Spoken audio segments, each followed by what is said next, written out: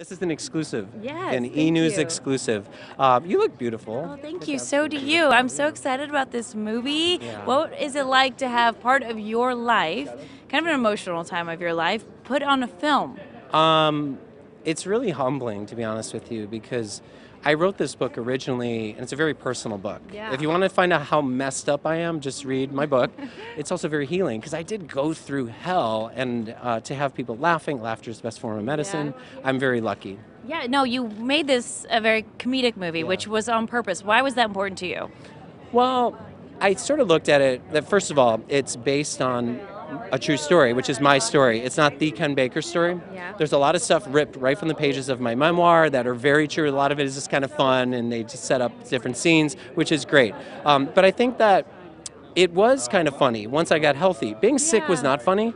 I mean, in retrospect, some of it was funny, but it was really getting healthy and being kind of this pubescent maniac and realizing, like, whoa, is this what puberty is? Like, I'm like, I'm rushing with testosterone. This is not okay. I'm a disaster. It just seemed that comedy was the best way to get to the story. Yeah, what do you hope fans will take away from it?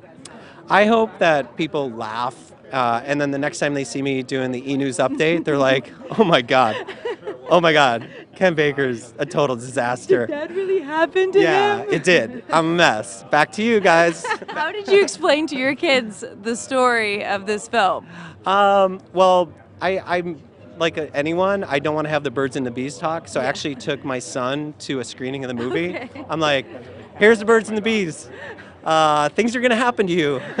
Hopefully now or in a year, not like when you're in your 20s. They, they, they know me, and I'm very open with them, and um, that's the only way to live. You know you're really good friends with the Kardashians. What do you think Kim and Khloe are going to think of the film? You know what's interesting is that they actually wanted to be here, and they all texted me and emailed uh, before this whole incident. Obviously, they're going to see it. I'm sending them a screener link, and I think um, Kim could use some humor right now Yeah. to help her get through all this. So uh, she's going to be seeing the late bloomer this week, hopefully. What's up, guys? I'm Giuliana Rancic, and you're watching the Live from the Red Carpet YouTube channel. Subscribe today, then be sure to check out our other Live from the Red Carpet videos right here.